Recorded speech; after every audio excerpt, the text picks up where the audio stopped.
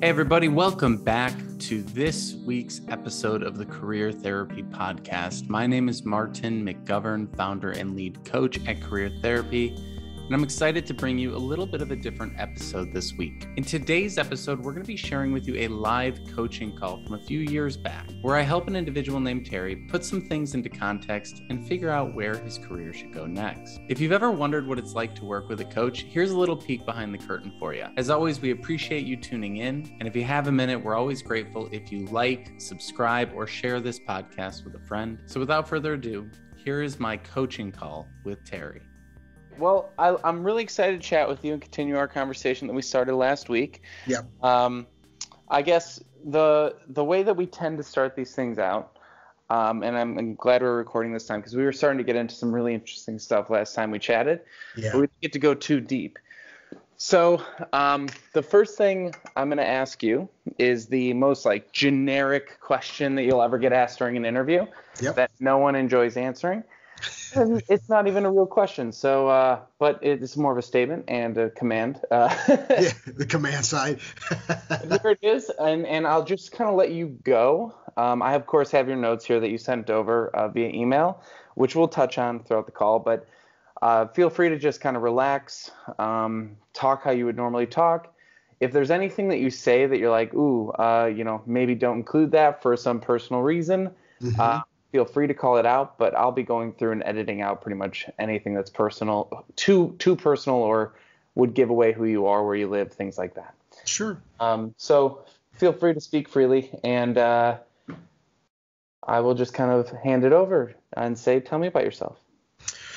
Well, um, well, going back is as I mentioned earlier. You know, I grew up in a little town called Dwight. Um, Illinois, which is uh, like 4,200 people. So of course the town there, everybody knows your name, and um, lived there till I was about 19, 20, give or take, and then kind of moved out after I had finished um, um, working at a job at the time. I was kind of going to college and working, uh, or managing a, a bar and restaurant, pizza place type thing. Um, then once I got done with college, I moved out and headed up towards closer to the Chicagoland area. And I basically uh, took the first job for the most part that I was offered um, when I graduated, which was um, an opportunity to, to start in the paper business. Uh, at the time, and it was a opportunity to kind of step in and, you know, really learn the business. I mean, the first I think almost three years I worked a third shift, uh, eventually moving into a second shift, and then of course the first shift. So I, my first five to seven years, I, I, basically spent my whole entire time learning the paper business.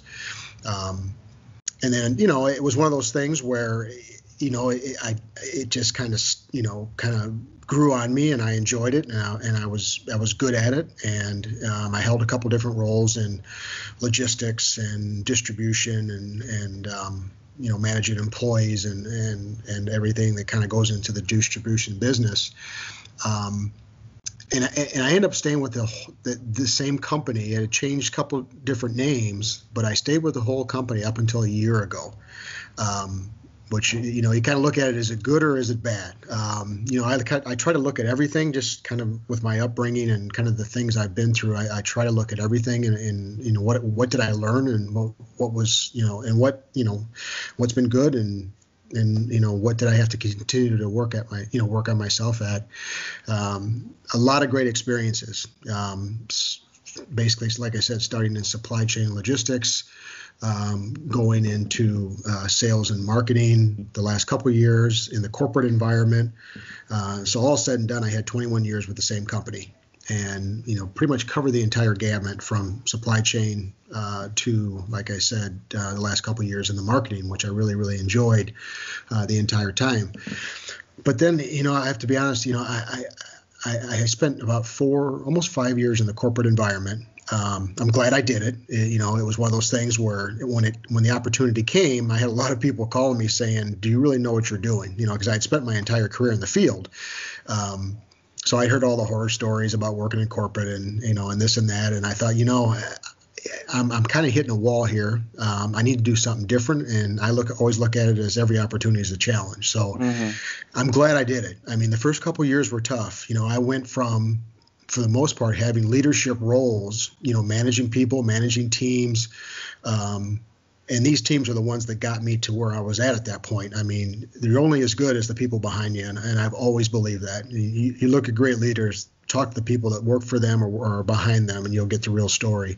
Um, and so I went from you know those leadership roles into technically an individual contributor role in the corporate environment. Mm-hmm. And, and, truthfully, I would tell you that's that was one of my toughest challenges from a career standpoint was was trying to adjust to that where, where I couldn't pull the levers anymore. I couldn't, you know, help people the way I did and pick up the phone and, you know, make things happen. It was kind of, I was in a, in a role that I just kind of had to learn to work within the team and realize I just didn't have that, you know, I hate, I hate the word power. I'll say control to make things happen in a good way. Mm-hmm. Um, so the first couple years were kind of rough, but you know I kind of I kind of stuck through it. I was thankful I had some good mentors that were already there that kind of helped me along you know, and and and, I, and, again, I had a couple different opportunities in there, and and the last, as I mentioned, I think a couple times, I, I ended up the last couple years in marketing. Um, but even with that, I got to the point where it was like, you know, I, am still in my 40s. I still have really another runway from a career standpoint, you know, and, and there's a lot of truth to some people say corporate is corporate. I mean,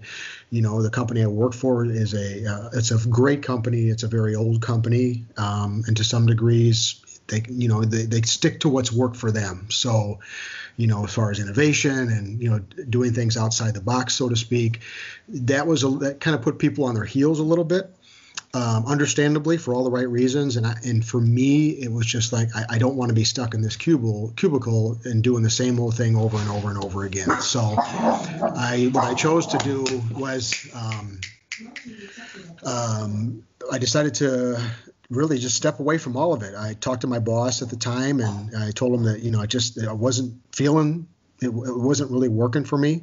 Um, and I, I, did look for some other options, but again, as I evaluated everything, I thought to myself, it's not going to be any different no matter what role I take.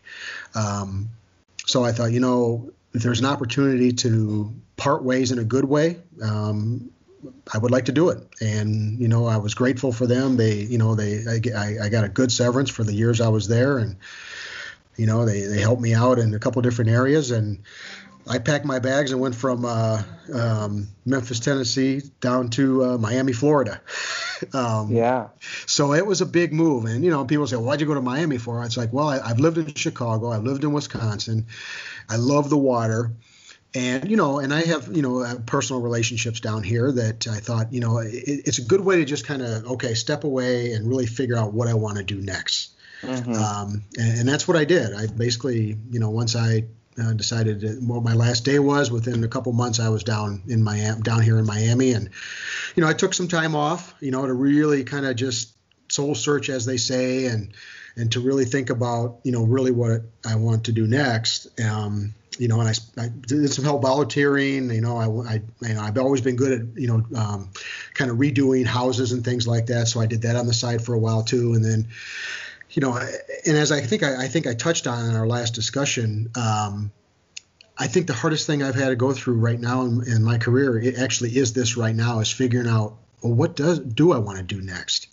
Um, you know, I've been very fortunate to have a lot of roles that I really did enjoy. You know, I could say I got up every morning and I never dreaded it, or it's like, oh God, it's this over and over again. I really enjoyed the, the the job perspective of what I did. And so I think it makes it harder when you've been successful in a lot of different things to say, well, what is it you know, I, am not a big person on the word passion because I think we mm-hmm. all have so many different passions. You can't define it into one. You know, this is my passion. This is what I'm going to do. I think you're going to be stronger in certain ones, but we all have various passions.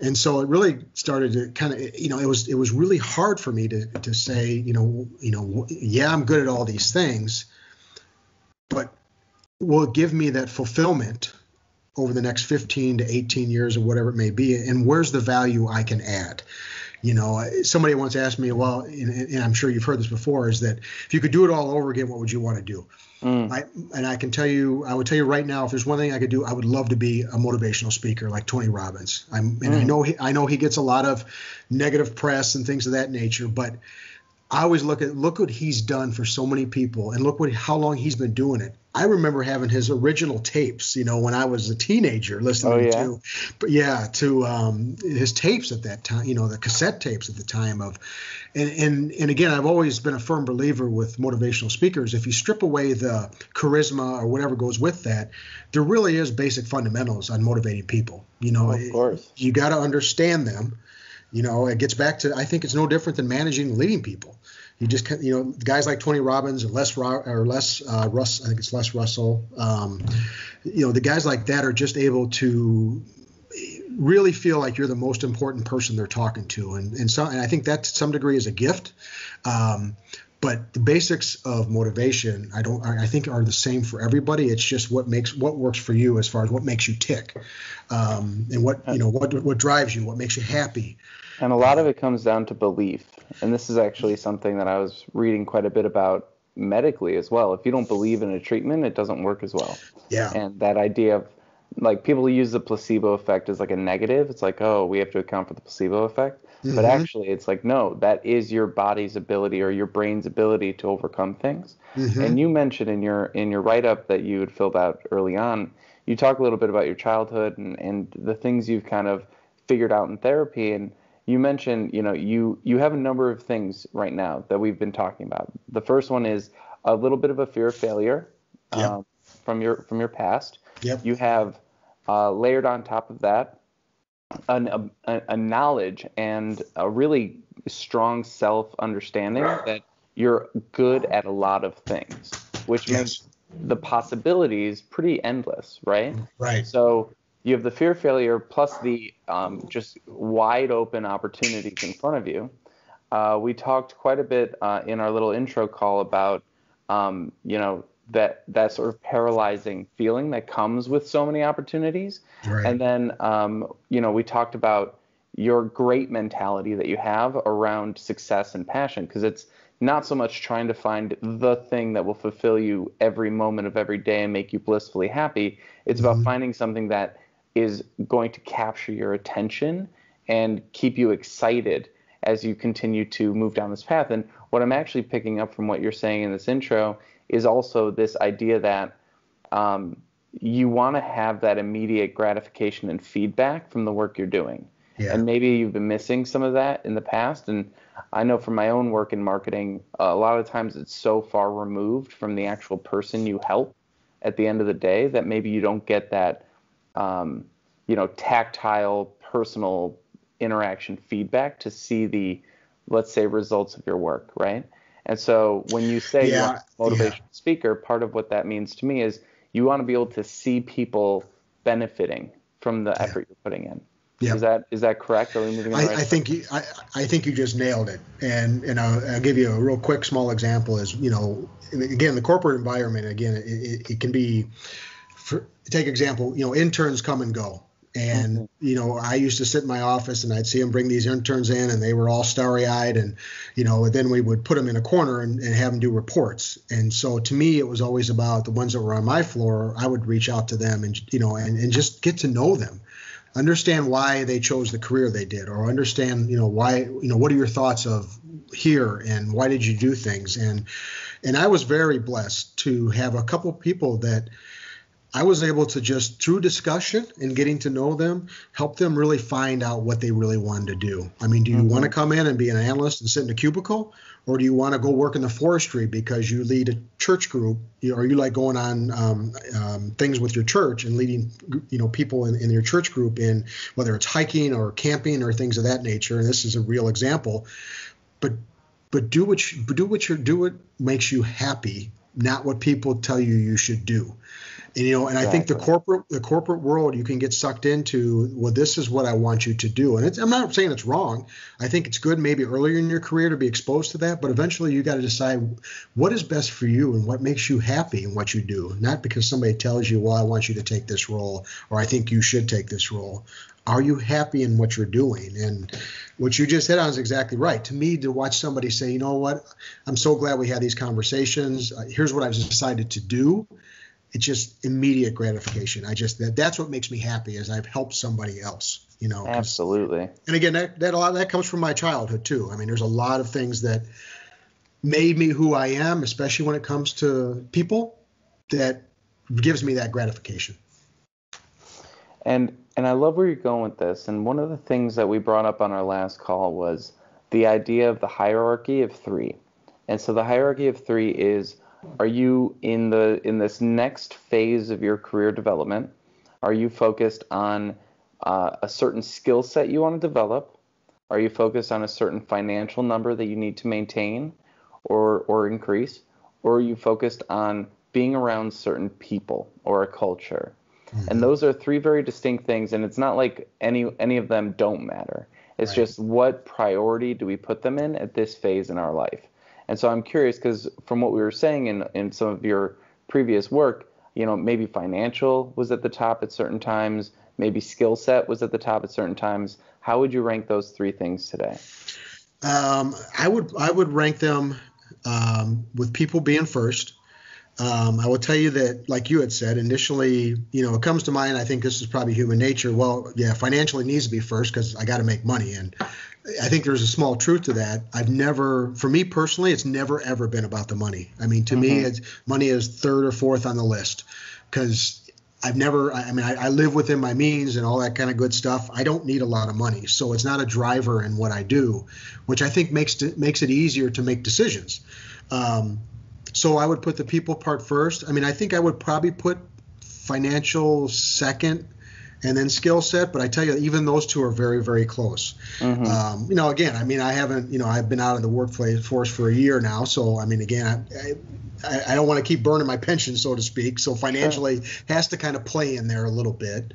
Right. Um, well, and, and that's why I want to be clear. These three things, it doesn't mean that none of them matter. It just yeah. means that if you're put in a situation between two jobs, one pays more, but the other has a better culture. Would you choose the culture over the pay? Culture. There you go. Yeah. Yeah. Awesome. so, so I think we're in a good spot. I mean, obviously, we all need to survive, right? Right. Um, and I wouldn't recommend you go work for free at, at this point in your career. Yeah. Um, and so when you're thinking about culture and people, so you say culture and people is first. What have been the cultures or the people that you've worked with um, or that you imagine working with, if maybe there's nothing that comes to mind from your immediate past, but who have been the people that you've enjoyed working with the most, either in a professional or even a volunteer setting? Ooh, well, you just threw kind of a you threw a wild card in there with the volunteer. Um, you know, one of the things I, I, I did when I was at the corporate spot is I volunteered at a um, children's hospital, and I can tell you that. And again, uh, back to that whole relationship to my childhood, the children's hospital was probably the most gratifying thing I think I've ever done was being able to help those kids. Now that was all volunteer. Um, great people, really had a passion for helping the children, which you know people would say, well, yeah, yeah, they better, but you'd be surprised sometimes. Um, so that that that volunteering experience was really satisfying for me. Now to take it into the true career or the work world, you know, one of the things I used to tell, you know, people I used to work with in the corporate environment is if you really want to understand people, go manage in the field. And what I would mean by that is, is I was kind of coming through the ranks. Um, you know, when you're managing truck drivers and warehouse personnel and people who, who a lot of them barely are, who live check to check, if you really have a, you, you really need to have an understanding and you really need to care about people in order to to lead them. And put any definition definition you want around leadership, it doesn't matter. The bottom line is is if, if somebody knows you truly care about them, they may not believe or may not agree with some of the decisions you make, some of the discussions you have with them, but they'll always walk away knowing that, you know what, I know he cares about me. Mm-hmm. I don't agree with him. So those experiences in the field were some of the best I ever had because I had to grow myself. You know, I was a kid coming out of college. You know, who is this guy? He's looking at costs and savings, and you know, there was a couple years there where I had to I had to lick my wounds because you know when surveys and polls came out, I, I got lambasted, as they say. Mm. But I I was fortunate to have people who coached me along the way and I learned so much from that. And the bottom line is, is that it really, in, in certain environments, you just got to have a genuine caring about people. And if you do, I think it makes the job much easier. Now, taking a step into corporate, that was good learning too. But for the corporate world, to me, just isn't can, can seem that it's just not real. It's like I used to tell people: the closer you get to it, it's like a mirage. The closer you get to it, the more you the more you realize it's not what you thought it was. Good, bad, or indifferent. It's just a different world. Yeah. And so what one of my biggest challenges that I I continued to have was I just couldn't be who I was you know, you say something that somebody spins it and takes it, well, that's not right, or I'm aligned with this person, and all that kind of stuff that it, to me is just distractions, and it, it, it, doesn't allow you just to be who you are. And you know, and there were and there was a handful of years there when I was younger that I thought I was going to be an MMA fighter. I actually did amateur cage fighting for like or uh, for like a wow. year. Yeah, I gave it a shot. Um, I did some amateur fights, and I loved the aspect of competition. Um, but during that time and even to this day, you know, Brazilian Jiu-Jitsu is something that I've always loved and always enjoyed. But it was the the people within the groups that I loved the most. I mean, it was mm-hmm. always like a family, and, and even when I would teach it, or very focused on leadership and like yeah, and yeah. mentorship and things like that.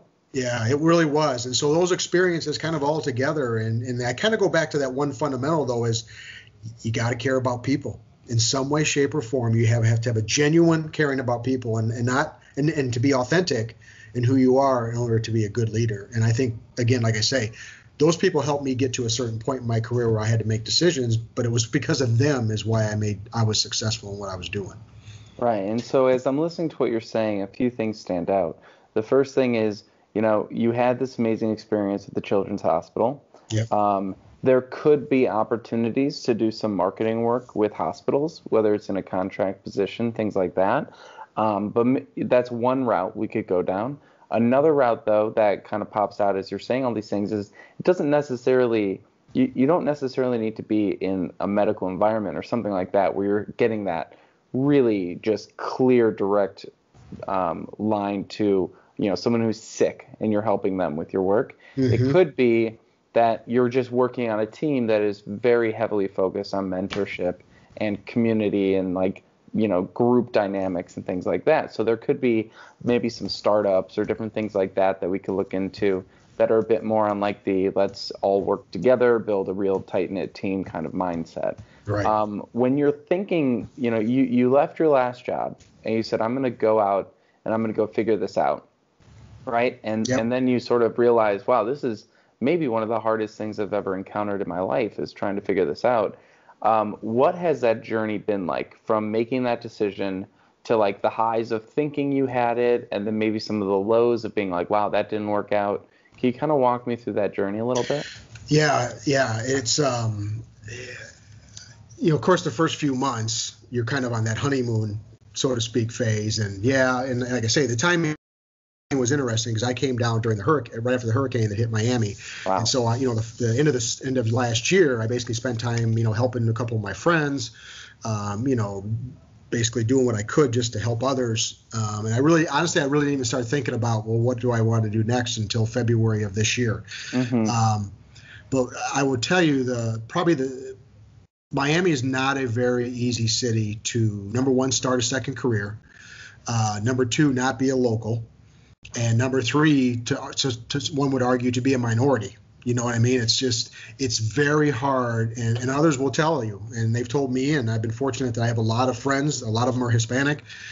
It's a tough world to just step into with basically having nothing. You know, no mm-hmm. no no lineage, no connections, no network, you name it. So you know, I, I, probably would have thought differently. Now, again, as I, I mentioned, my, you know, my girlfriend is down here, so you know, I and I and I've I met a lot of people in my prior role. Uh, before I left, I was I spent a lot of time down here, so I got to know a lot of people, and they've been they've been wonderful and great. But the reality is, is it's it's tough, um, and so I think for for me, it, I, you know, and again, and I keep referencing the same thing, but going back to, you know, kind of how I've been on my own arguably since I was, one would argue since I was two, um, mm-hmm. but I would say since I was 11 when I was working in a pizza place for cash and I was running with a group of people that probably weren't the best people in the world, but they were my family and they mm-hmm. protected, mm-hmm. they protected me, looked out. So you learn i've learned that i just don't let things get me down. I mean do i get up some mornings and say oh my god it's been you know 13 months or i get up some mornings like oh my god i got four months left to go on my health insurance or you know oh my god it's like nobody has called me back on my resumes. Mm-hmm. yeah sure. Yeah that that is always there but i don't dwell on it. I get up every day at the, roughly the same time. I, I get ready like i'm going somewhere and i do something for myself you know as far as like like right now what I'm doing with you, or I've been taking some online courses uh, through for data analytics through Wharton. I don't allow the negative part of this, you know, linger in my mind very long, and I just stay as positive as I can. And, and I'm a big believer in in faith and hope, and and you got to trust sometimes. And you know, it, it, I I knew going into this it was not going to be easy before I knew what I got into. so mm-hmm. I had kind of planned. It's not like I I went off and said, well, you know what, I'm out of here. Screw everything, and I'm, I'm just going to go do this and that. You know, I was in the back of my mind already kind of planning financially and just my mindset probably a year before it all shook down and, and the opportunity came where I could walk away.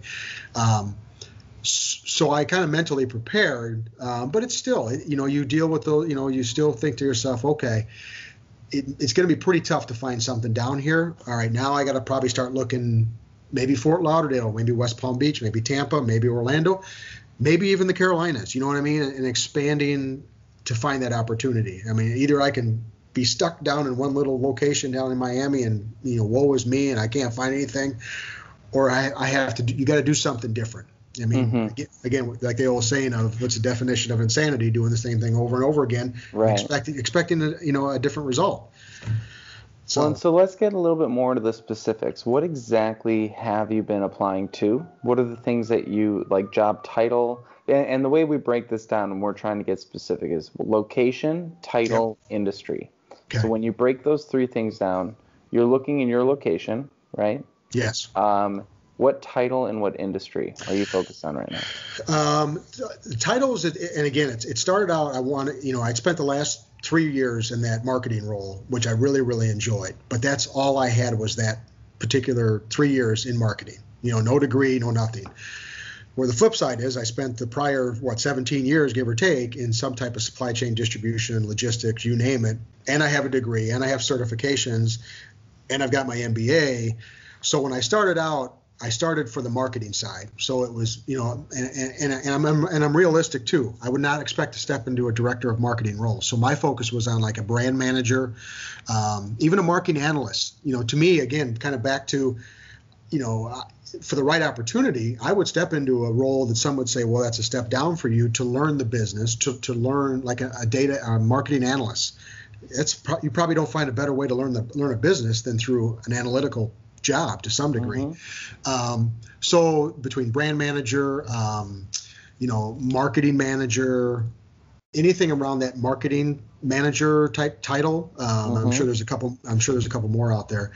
But then I also, again, kind of going back to well, uh, you know, it, it may be tough. So look at supply chain, which to me, again, back to what I had said earlier, is I really enjoyed the supply chain aspect. I mean, but the next role I would consider would I would hope to be a bigger role, like a, you know, a director of supply chain or a regional supply chain manager, something at, at that kind of scale um, that ha, you know oversees multiple facilities, and, and then adding into, I also considered a general manager, where you know can I use all my skill sets, you know, managing people, being part of marketing, being part of supply chain, you know, whatever might entail under a gen- general manager role um, with the right company. So kind of some different different avenues.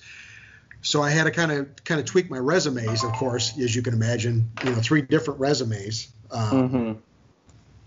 To get that, you know, to, to make sure I had the right resume, and and that was a bit of a challenge because it was kind of like kind of back to when I first did my resume and had some people had some individuals look at it before I had it tweaked a little bit. Um, kind of the comment was, well, there's a lot of good stuff on here, but it doesn't really tell me what you want to do. And I kind of already knew that, but I didn't know how to fix it. you know what I mean? Right. So so it was just like, yeah, I know that. I just it's just kind of back to the struggle of what do I want to do?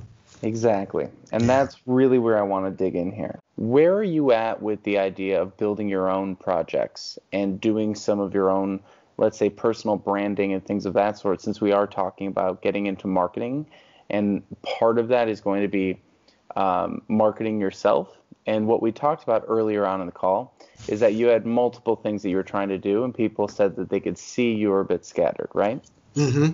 So as we move towards getting less scattered and being more focused, um, what are your thoughts around blogging? Uh, around because you said you want to be a speaker too. Uh, you said that would be a really cool thing as well. So, what are your thoughts around creating content, creating platforms, or just working within the social platforms that exist? What What's your current comfort level, and and where do you hope to get with that?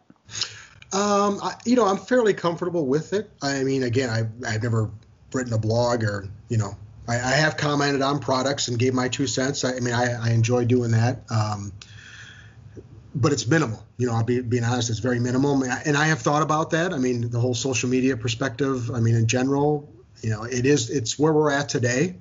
Um, and it's a huge opportunity, I think. And again, I, I, would tell you, I probably shied away from it because I don't have the experience. You know mm-hmm. what I mm-hmm. mean? But I, but I, but like, I don't know if you saw what Payless did um, the last few weeks about what they did from a marketing perspective. I find that fascinating. What they do? Uh, the, they did, the, and actually Wharton did a study on this thing. They what they did is they, they basically rented out Payless shoe store. You know Payless, their shoes mm-hmm. are like mm-hmm. twenty bucks. Well, they they they hired a, a, designer and they came out with this new line of shoes, and they're in the stores right now. And before the launch, what they did is they rented out a space in LA that was in a, it was a space that was within all these designer boutiques, you know, and some high ends uh, designer um, uh, like purses and all that kind of good stuff. And they had people come in and redesign it to make it look like this really really high end boutique. Put the shoes up like you'd find at a place you pay a thousand dollars a pair of shoes, and mm-hmm. it was really designer focused. And then they invited all these social media influencers and all these designers and invited them and said, "Hey, we got this new designer coming in. They've redesigned, you know, he's redesigned the shoes. We want you to come in and check them out." And you can look it up on YouTube. There's there's a couple short excerpts. But also, you know, to make the story short, is they invited, they had this big kickoff, this big red carpet deal, and and, and they and then and they filmed all these designers commenting on how the quality of these shoes and how trendsetters they become. And and they literally were paying two four six eight hundred dollars a pair for these shoes. And then once they paid they basically told them they were duped. Yeah. And so and some people look at this as like there's really a couple things but first off the consumers really don't understand the quality when it comes to especially clothes and shoes and things of that nature. They really don't know the difference. I mean they've got one of the designers and i can't think of his name but basically looking at a tennis shoe to say you know this is some of the best quality i've ever seen. It's right. a $20 shoe. All said and done yeah, exactly. And then there's you know there's a couple of the fashion divas that are just like I just love them, and and so they've made a commercial out of it. And the commercial ends, you know, it shows them paying two, four, six, eight hundred. Why would you pay that when you can pay nineteen ninety five?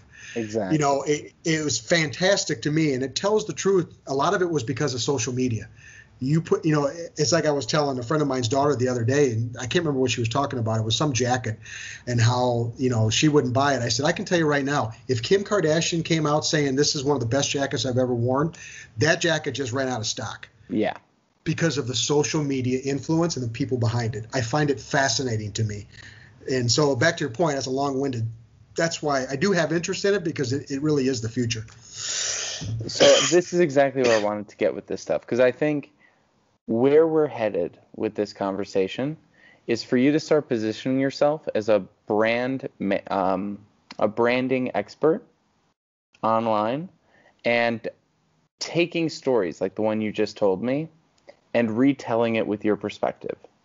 And whether you do that with a blog white papers um, just writing articles on linkedin whatever it is you want to do there's a lot of different ways that we can do it um, you want to, if you're going to be in this brand marketing space, uh, positioning yourself as someone who not only understands brands and what they're trying to do, but also has their own brand and can manage their own online presence. So, as we dig into this a little bit more, um, the fun part about it is that you get to choose right now what you want to focus on, whether it's um, brands in general, whether it's a certain industry. And I would say it's better to start specific and then go broad than to start broad and go specific. Um, but what sort of stands out to you? Like you, you mentioned Payless. I'm sure there's lots of other examples like that out there. Um, as we kind of keep digging and peeling away at the onion, what sort of stands out to you as, as something that you might be able to develop or create? Does anything pop into your head that would really help position you for this next phase? As far as um, what to talk about, so to speak, is that what you're asking? Like what, um, like an be, industry? It could be topic. It could be platforms. Yeah. So okay. is is there a certain thing that you feel like you could, you know, you could dissect endlessly? Let's say. Ugh. Yeah, that one I, am not sure I can answer that out right off the top of my head. Um, I, I, mean, I think to myself, there's a lot of stuff that I have, of course, I have an opinion or thought about of why it's successful. Um, I, I, guess, and I know this is going to be broad. Um, I guess I lean towards my interest level as as to why why consumers buy certain things. Why do you know how do you how do you uh, you know and I go back to you know I, I write Harley Davidson Harley mm-hmm. Davidson to me is the ultimate brand. When, when you're putting a tattoo on your body, and one would argue Nike is the same way, but there's certain brands that they have such a following that it doesn't matter that even the cost, they will not sway from what they f- believe in. So why, you know, why is that? And how do you get them to sway? And, and how do you convince consumers to try something? You know what I mean? So I, I know I'm probably getting very broad on this, but I'm but I'm also not trying to just pull stuff off my head that you know, I think I, I, I have things to say about a certain product or brand. Don't worry about it. I love okay. it. I, this is exactly what I want you to be doing. So don't feel like you're doing the wrong thing. Uh, I want us to get really up in the clouds, and then I'll, you know, strain out the rain. Okay. Well, I guess um, again, I'm going to lean back on probably my hobby slash interests. Um, you know, kind of back to, you know, of course I follow the MMA junkie and I follow, it's interesting because I, I, read the, the blogs that people write about certain fights and why people are, you know, why certain people might win, they might win. And of course I'm, I'm, I'm familiar with it enough that I can disagree or agree. Mm-hmm. Um, or why certain, certain, you know, why, why don't certain, um, uh, designer or not designers, but clothes manufacturers, you know, why can't they be part of the UFC or Bellator or, you know, some of these other organizations? You know, because usually stuff sometimes, well, they've got new sponsors and these are the sponsors. Well, why is that? You know, I've got a friend of mine that owns his own company in Milwaukee called Combat Corner, been around for 15 years. You know, why can't he, you know, why can't they give him an opportunity? You know what I mean? So all those things uh, I think I'm, I'm kind of getting off track a little bit. No worries. I love it. I think we're actually hitting on it really well. So you mentioned Harley Davidson, and you said you you ride a Harley. Is that right? Yeah, yeah. I've, I've, right. I've had one for years. Awesome. So really, what I'm seeing this all kind of build around everything that we're talking about today, from your interest in Tony Robbins throughout the years, through um, your interest in Harley and Payless and things like that.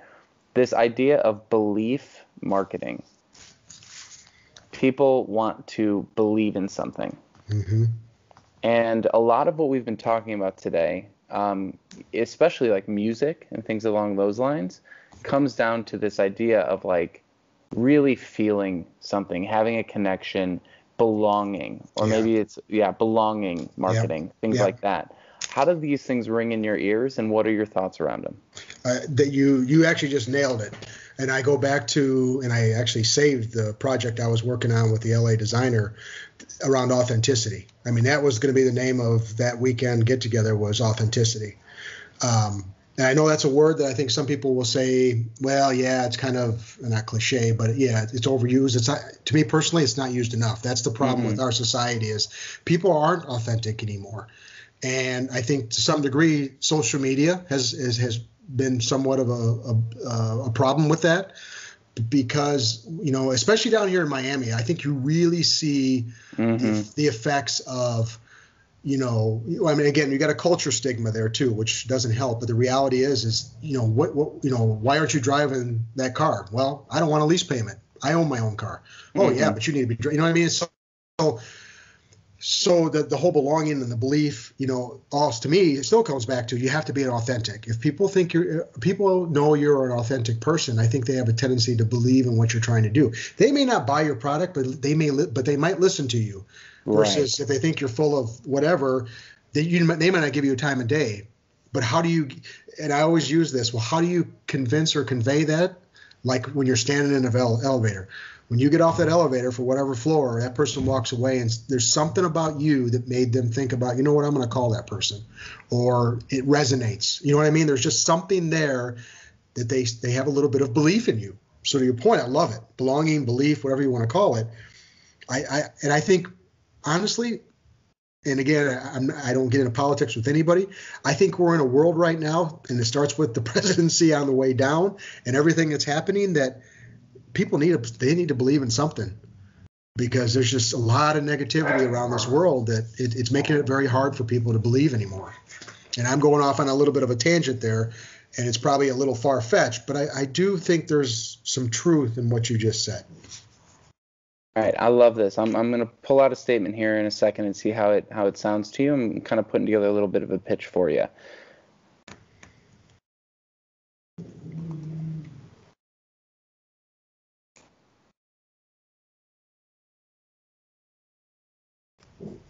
All right.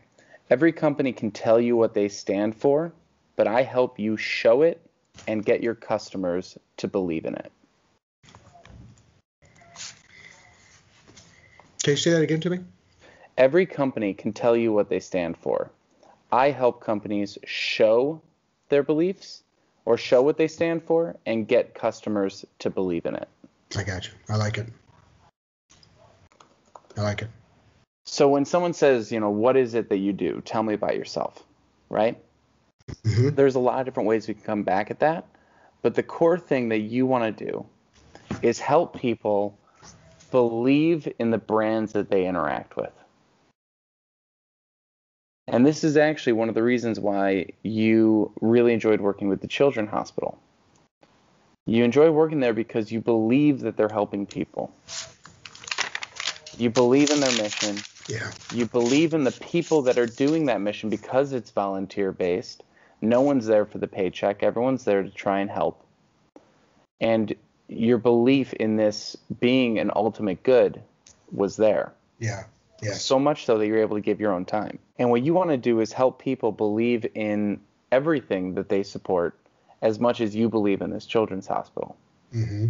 And you look at things like the MMA and Brazilian Jiu Jitsu, it's more than just fighting. Yeah. It's a it's a it's a group. It's belonging. It's um, you know masters training apprentice.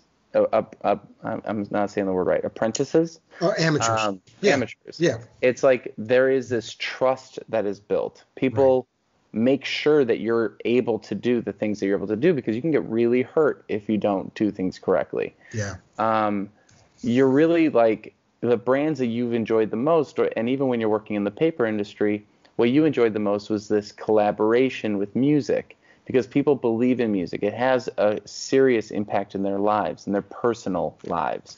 You and, just you just nailed exactly what Lawrence said the first time I met him. The design I just threw his name out there. Sorry, uh, the designer that I work with. You you just, word for word is exactly the first thing he told me about the music industry. You nailed it. Amazing. That's yeah. amazing. And I think that that's really what we want to dig into today is what do you believe in? How do you communicate what you believe in with other people so that they can see it? And then how do you work with these brands that you believe in the most? Mm-hmm. That's what we want to get to. And so we've really gotten in deep here with what it is you want to be doing. You want to be working in brand marketing. You might need to spend a little bit of time getting more specific about the actual job title. Right. But brand marketing, not sales, not anything else, brand marketing. And, and brand marketing includes analytics. Mm-hmm. Um, you want to work for brands similar to Harley Davidson, MMA, etc. These lifestyle brand companies. Mm-hmm. And I would say go deep into each one of those, one at a time. So say I want to be a brand manager at Harley Davidson. Now you're going to look at Mm-hmm. Harley Davidson, all of their collaborators and competitors. You're going to build that map of everyone. You know, you can get about 100 companies out of like just looking at their competitors and collaborators. And you go down to the bottom. You try and meet and talk to as many people that work at Harley Davidson as you can, or any of the companies that partner with them as you can.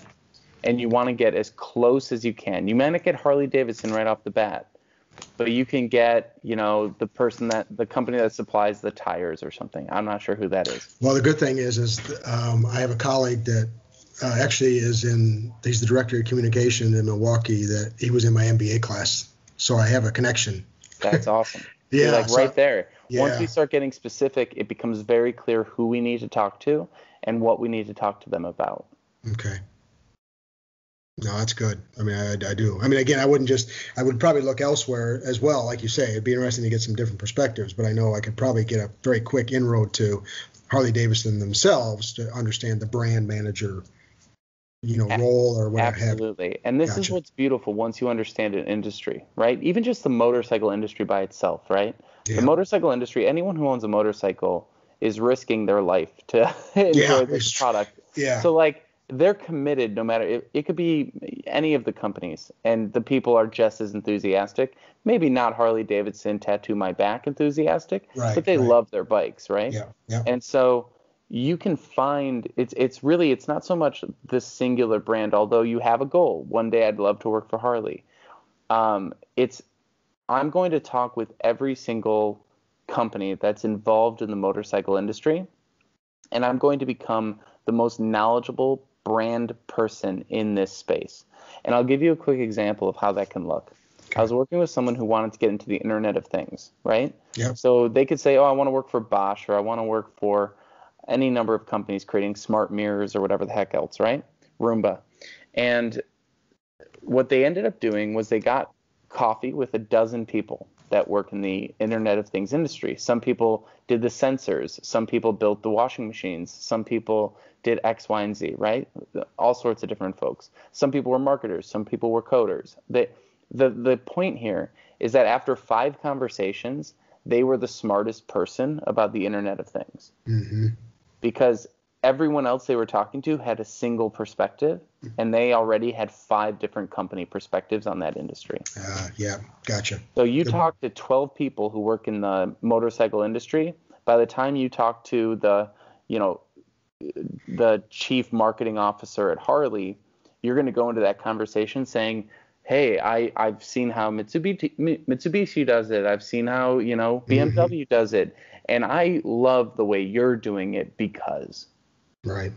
And now they're like, "Wow, who is this person?" Right? Mhm. Right. and maybe you've written a couple articles on LinkedIn's, um, you know, posting like Medium thing. Maybe you have a blog. Maybe you have a YouTube channel. Whatever the thing is that you want to do. Maybe it's an Instagram, but something that they can, when they Google you, it pops up that wow, this person is so interested that they've even written about this. You know, Right. Yep. Yep. and now you are becoming known. Yeah. And and again, it's not like oh, we're going to build a massive following of hundreds of thousands of people and become I don't know whatever the key person in the industry or something. You're not trying to be a, a necessarily a voice in the industry right now. You're just trying to be a voice in the industry right now. Yeah. So instead of being like whoever the voice in the industry is, maybe someday we'll get there. Right. But right now we aren't a voice. We just want to be a voice. And then as we get more and more intertwined in the in the community, we just get louder and louder if that's what we want to do. Okay. And again, this could go up, this could go down. You don't always have to be doing a blog if it's not your thing. But when you're in the job search process, you want to have some sort of project that you're working on on top of the job search so that when someone asks you the question, what have you been doing the past six months? yeah. You can say something other than searching for a job. Yeah, and and, as, and I, yeah, uh, again, I'd heard that elsewhere too, and that's where I, I have to go in and you know, kind of just redo my current LinkedIn profile as well as my resume because technically, my you know, I, have I been doing things? Yeah, I've been kind of partially going to do an online school as well as, you know, helping others redo their houses. But that at least that's something that's that's it's better than basically showing a blank for a year Right. how do you word it and making it fit more of my profile what makes sense to have something in there, I know is something I need to do as well. Yeah, and the nice thing is like like let's say you launch a blog or an Instagram or something like that, you put it up mm-hmm. immediately on your experience, like um, manage Instagram account. Okay. Or just say brand manager of my Instagram account, and that becomes your sort of like talking point for hmm. any conversations that you have. Okay. And the great thing about a side project is you get to use it as an excuse to talk to people. Yeah. Say, hey, I have this blog or I have this Instagram account. I'm trying to build it and I'm looking to connect with leaders in the industry. Would you be open to grabbing coffee and just sharing your experience? And now you're not going in saying, give me a job. You're going in saying, I'm going to learn. I'm going to share your story. And anyone who might come across my blog will now know who you are. So you're actually providing value. Even if there's only 20 people following your account, you're still providing more value than nothing, you know? Yeah. Yep. Well, and, 20, exactly. And 20 so people that know me didn't know exactly. me before. And my favorite example of this is I had someone who wanted to get into sports technology. So they, they were a developer. They wanted to get into the sports industry. And I said, go to a sports meetup. They said there aren't any. And I said, start a sports meetup.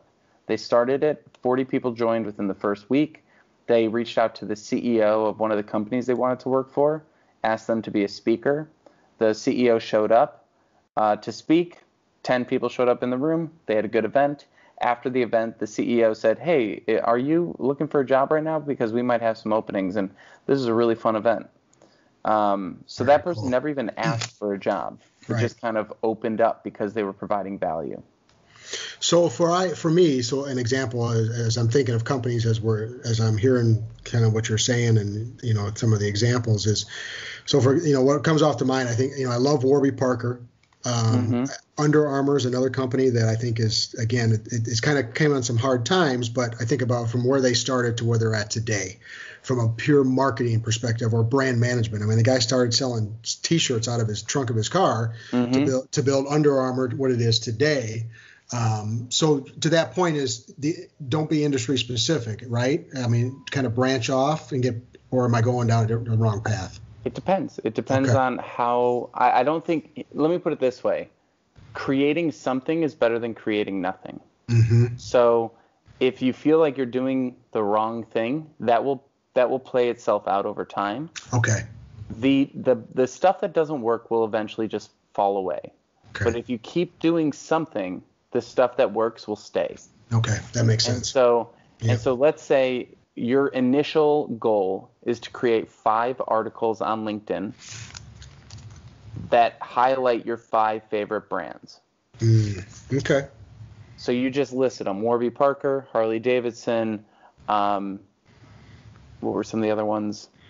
Uh, you know, even the even the Payless one. You know, maybe yeah. not your favorite brand, but a pretty cool drive that they just did. Yeah. You you you spend an hour a week writing that article it doesn't have to be perfect. And again, uh, this is something you'll probably have to fight with your perfectionism a little bit. Yeah, I think so.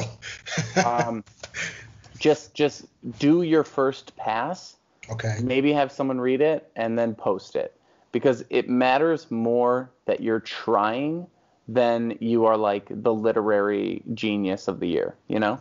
Okay. And this is because most people just skim it at the end of the day. Mm-hmm. And this is where we enter into our current marketing um, environment, which is you want to have quality, but w- quality at a you either have to have the best quality thing ever a couple times a year, or the or or a good enough quality every single day.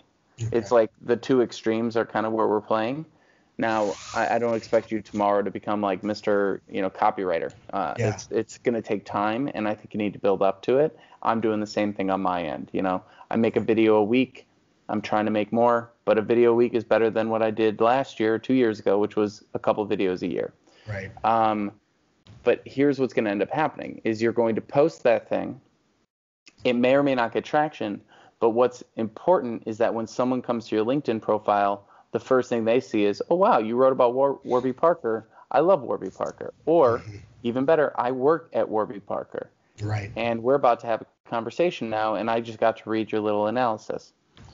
And and you get to use this as a way to say like, you know, maybe you even reach out to someone and say, hey, I, I was writing a little thing about your company, and I was wondering if you wanted to chat. Um, you know, not to be like on record or anything, but just because you're curious and you want to learn. Mhm. And like these are the Yep. fun things that kind of result out of it. So again, I, I don't think you should necessarily go launch a blog or anything huge right now, Sure. just because it's Right. not it's not really your radar. Yep. You definitely write articles and post them on LinkedIn.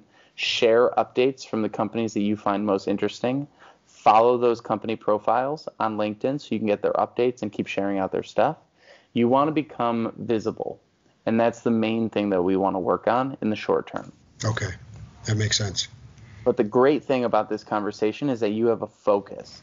And the focus will help you know who to reach out to, what conversations to have, and what direction to move in so that you can say, well, I talked to three people at Warby Parker and it just doesn't sound like the place for me. I'm going to mm-hmm. I'm going to focus on Harley or something else right now. We interrupt today's episode to let you know about Career Therapy's Unstuck coaching program.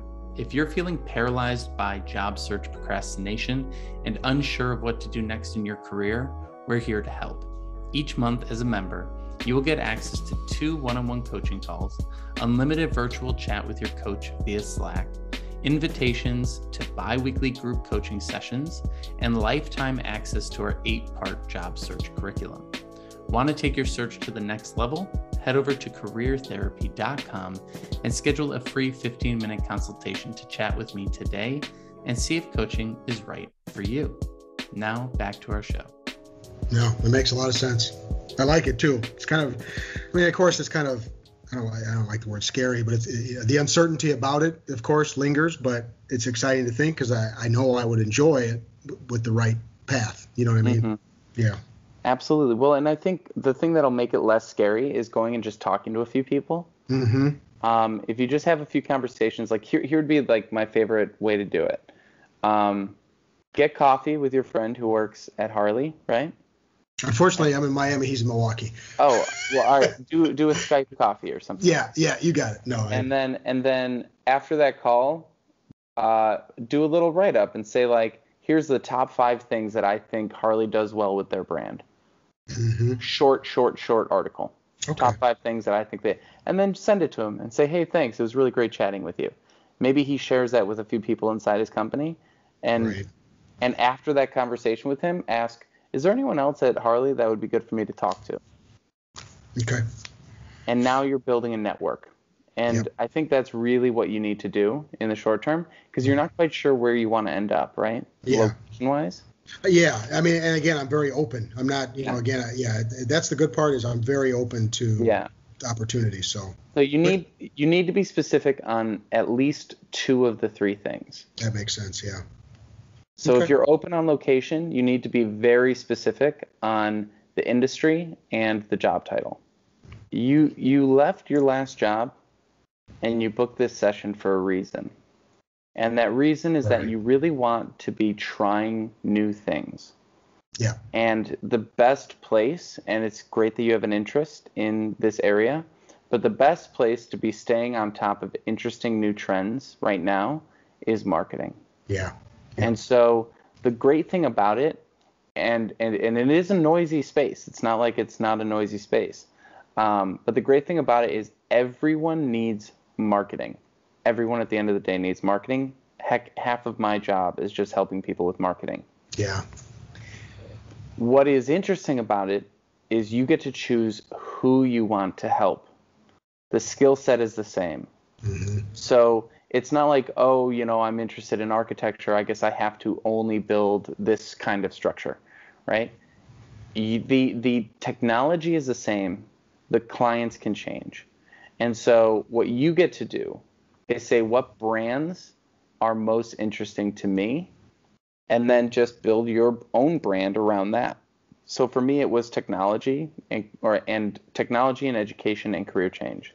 For you, it could be automotive and or, or even more specific, more niche, uh, motorcycles or uh, clothing and fashion or music. Or music. know, yeah. Yeah. You really you really get to choose, but the key thing here is to choose. And I think the main struggle, from what I can tell from our conversation, that you're going to have is wanting to drift back to opening up more opportunities. I think you need to drill down to the bottom of the well before you backtrack. So let's say we start with the motorcycle industry. Before you say, all right, let's open it back up and go talk to Warby Parker and a bunch of other people, hmm I want you to exhaust the motorcycle industry. Okay. All right. It makes total How- sense. Yeah. How are you feeling about everything at this point? And what do you think your biggest blocker is going to be? Um, actually, I feel good. I feel really good. Um, I think probably the biggest obstacle will be, um, and, and, I, and I don't think it's fair for me to think that because I'm not even in it yet. Is um, kind of two things going down the path of, for example, the automotive industry. Is it really something I'm interested in, so to speak?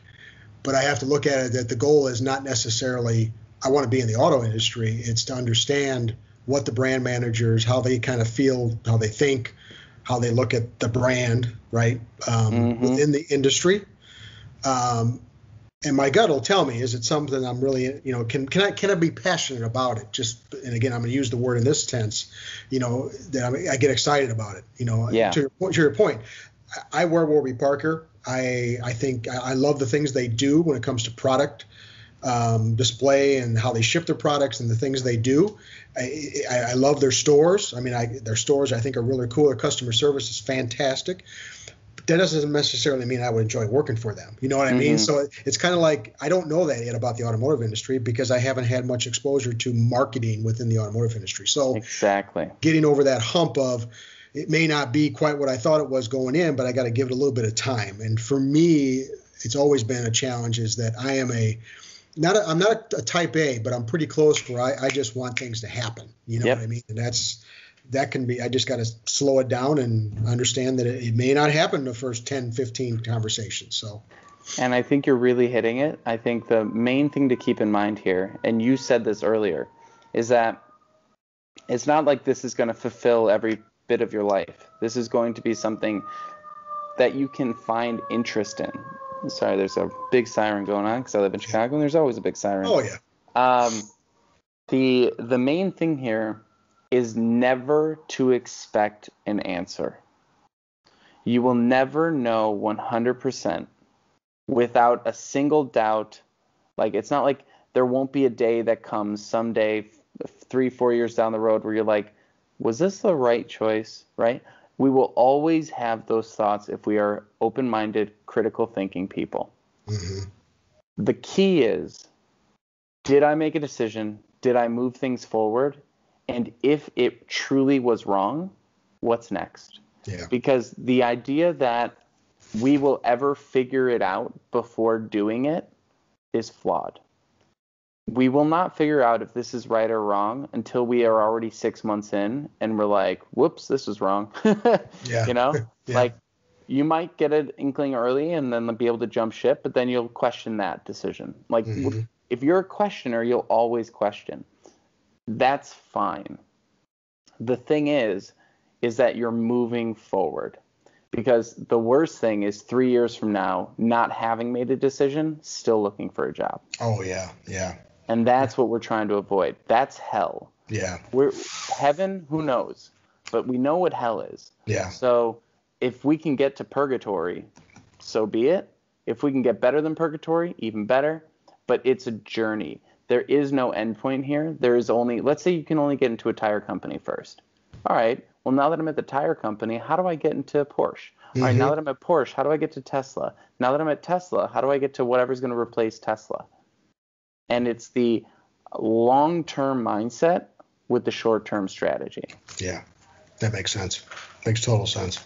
Awesome. Yep. Um, if anything ever comes up um, that you want to chat about, you are 100% always welcome to email me, uh, questions, chat me, whatever it is. Um, I'm happy to just kind of banter back and forth and help you help you through these things. If you ever want to jump on another call, also happy to do that. Um, but I think we've set up at least a good baseline hmm focus your activity. So um, it sounds like you're in a good place. Is there anything else that's on your mind that you'd like to, to jump on before we wrap? No, I think we've covered more than I expected. So um, that I'm I, am very happy about because I, I, think we did cover a lot of ground um, in you know in the first call, initial call, and you know now it's about kind of putting you know boots on the street, so to speak, and for me to start you know kind of walking down this path, you know this new path, so to speak, and doing kind of following your guideline. All right. Well, I'm really excited to see where you take it. Please keep me posted, and I'll let you know what ends up happening with this recording down the road. Okay. Fantastic. I appreciate it, Terry. Thanks for joining us for today's episode. If you found this conversation to be helpful, please like and subscribe wherever you are listening. We also appreciate it if you take the time to leave us a review on iTunes. It really does help us spread the word and get these ideas out to more job seekers looking to build their careers and improve their lives just like you. If you'd like to learn more about career therapy and see our different coaching options, you can head over to careertherapy.com to learn more. Thank you again for stopping by. We wish you all the best in the future of your career. Have a good one.